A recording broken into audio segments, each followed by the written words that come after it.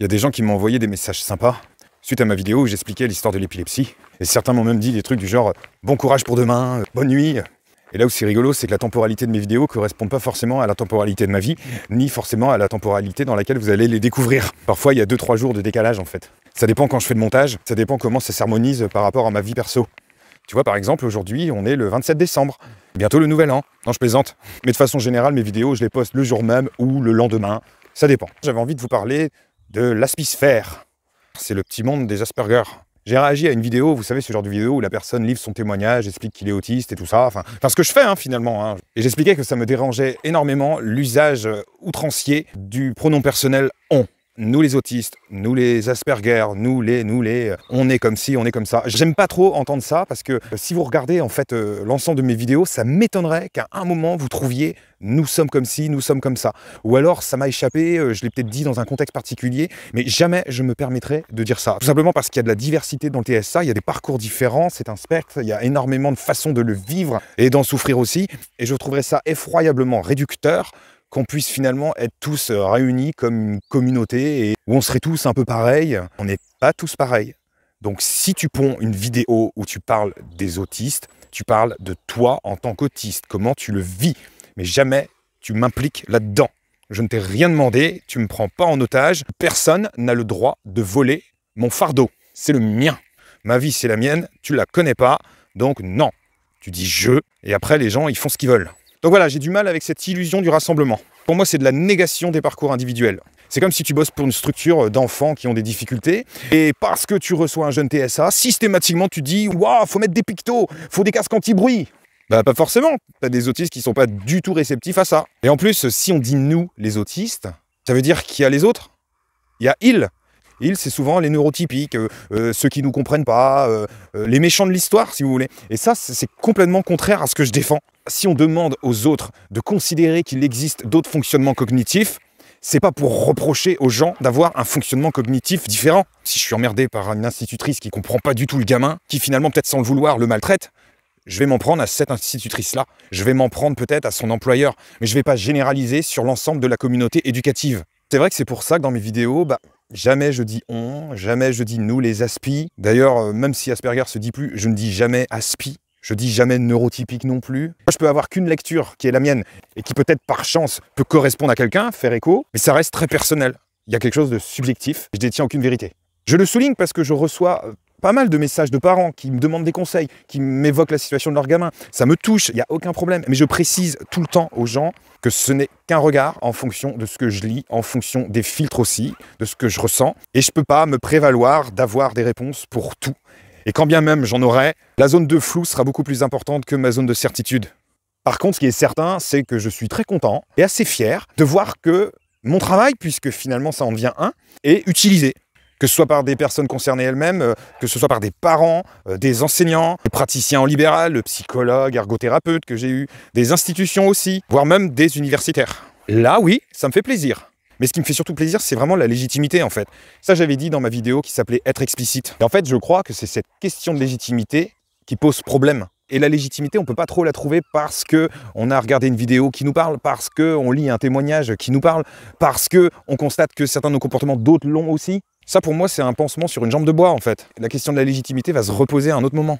En fait, il faut pas espérer de la reconnaissance qui vienne des autres. D'autant plus si on considère les autres comme l'ennemi neurotypique. Parce qu'on va le cataloguer, on va le conditionner, alors qu'on lui reproche finalement d'avoir une image figée sur nous-mêmes. On lui reproche de ne pas chercher à nous comprendre, alors que nous, de notre côté, on déclare forfait et on se dit qu'il pourra même plus nous surprendre. Et là, quand je dis on, je ne parle pas de la communauté ASPI. Je parle de soi, en fait, dans les fonctionnements humains. En fait, dans notre vie, on a souffert des fois parce qu'on a croisé des connards, parce que c'était des connards qui se sont inscrits dans notre vie. Ça correspond à une trajectoire individuelle. Le souci, c'est quand on en vient à étaler un peu ses souffrances, à, pointer du doigt l'objet responsable, inévitablement, on aura un autre qui va se reconnaître. Et ensemble, vous pointerez le même objet responsable. Moi, je trouve ça hyper dangereux. Ça n'enlève pas le fait qu'il y a encore du boulot à faire dans notre société pour intégrer la neurodiversité, pour que finalement le corps enseignant, pour que le corps médical, que la société en général se mette à niveau et soit capable de sortir un peu de sa zone de confort, en fait, de ses repères, qui sont parfois très archaïques. Ça met du temps, mais c'est au travail. Tu vois, en systémie familiale, par exemple, je crois que c'est en systémie familiale, je ne sais plus. Euh, on va dire qu'il faut trois générations pour se rendre compte d'une problématique familiale, et il faut trois autres générations pour en sortir. En politique, on dira parfois que ça met 12 ans à mesurer l'impact d'une décision qu'on a prise. C'est possible de faire bouger les lignes de la société, mais ça prend du temps. Alors parfois, il faut faire un peu de militantisme, il faut y aller brutalement. Parfois, il faut être diplomate, faire de la pédagogie, de l'éducation. Mais l'un comme l'autre de ces modèles ne feront pas que demain les choses auront changé. Faut pas être dans le tout ou rien, parce que le tout ou rien, moi je connais. Après, on va me reprocher d'être un peu trop dans le consensus, d'être carrément dans la compromission. Pas du tout. Je suis désolé, moi je navigue entre deux domaines. Hein. À la fois je suis concerné par le TSA et à la fois j'accompagne aussi des gens qui ont du TSA. J'ai le cul entre deux chaises. Fondamentalement, je peux pas me lever contre les méchants neurotypiques parce que je bosse avec des neurotypiques, parce que je rencontre des gens tous les jours qui accompagnent ce genre de public, qui sont pas forcément concernés directement, mais qui pour autant sont sensibles et ont envie d'avancer et sont plutôt ouverts. Et également des gens qui sont d'obédience psychanalytique. La question de la psychanalyse, c'est particulier pour moi. Parce que formé dans le médico-social dans les années 2000, Inévitablement, j'ai eu cet héritage. La compréhension des problématiques était d'ordre psychanalytique. La triptyque, névrose, psychose, perversion. Il fallait soigner les gens. On était loin des questions de neurodiversité à ce moment-là. Et finalement, dans la pratique, ça a apporté plein de trucs d'avoir cette vision-là, sans pour autant qu'on fût maltraitant avec les personnes qu'on accompagnait. En 2001, il y a 20 ans, j'ai fait un rapport de stage où je présentais l'autisme. Ben, je crois que si je me relisais, je vomirais. Je me cracherais à la gueule d'avoir pensé ça. J'étais victime de ma propre méconnaissance et des représentations. Ça s'inscrivait dans le monde de l'époque. Maintenant, c'est sûr que si je me retrouve face à un discours psychanalytique du TSA, je vais réagir fort, avec véhémence. Ce qui va me poser problème, au-delà du fait que c'est inefficace et que ça a été démontré, c'est surtout le fait qu'on veuille m'embarquer dans un dogme. Et là, je ne suis pas d'accord. De même que je ne suis pas d'accord avec le dogme autistique dans la communauté Asperger, les neurotypiques, etc. Moi, je veux être libre de piocher là où ça converge et fait sens pour moi. Moi, j'en connais plein des gens qui sont dans la psychanalyse. Et eh ben, il y a des gens qui sont très très bien, avec qui on peut discuter, avec qui on peut débattre, on peut croiser les regards, et qui en plus sont super sympas. C'est pas pour faire euh, l'avocat du diable, c'est pas pour avoir une espèce de discours euh, moralisateur. Je, je vous demande pas du tout de penser comme moi. Je vous dis ce que je ressens, ça m'appartient.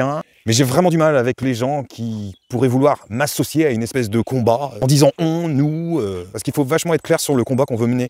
Moi, j'ai envie de vulgariser le TSA, d'en parler, d'apporter mon regard, et en parallèle de recevoir des commentaires positifs qui me disent ah bah j'ai raison de le faire parce que c'est valorisant, c'est bon pour mon ego, il faut que je sois honnête pour le reconnaître. Mais il y a aussi des gens qui prendront l'autisme comme porte-étendard d'une espèce de combat pour clouer le bec à des administrations qui un jour leur ont fait du tort. Une personne qui m'a posé la question sur ma position sur le bonheur. J'ai pas réfléchi à cette question, mais je crois que euh, le bonheur, être heureux, c'est avant tout d'être au clair avec soi-même et, et en paix. Et je suis pas sûr que ça nous rende vivants d'être rongés par une espèce de colère. Peut-être que certains parmi vous vont pas aimer ce que je raconte dans cette vidéo, en se disant ouais mais c'est facile pour lui, euh, il est intégré, euh, il a une vie sociale, il a peut-être moins de difficultés euh, sur certains points. Voilà, peut-être. C'est juste le discours d'un autiste qui vit son autisme. Voilà. Et jamais je vous demanderai d'être comme moi, jamais je vous demanderai de penser comme moi, jamais je prétendrai savoir comment vous pensez.